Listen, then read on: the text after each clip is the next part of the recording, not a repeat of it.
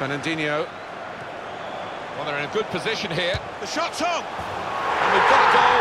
That's the first one, and I think there'll be a few more to come.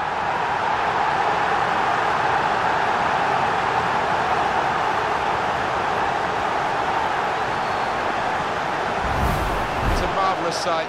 Even looking again at the replay, Alan, isn't it? A goal up in the top corner like that. Yeah, I think he'll enjoy watching that one later tonight. Oh, spectacular.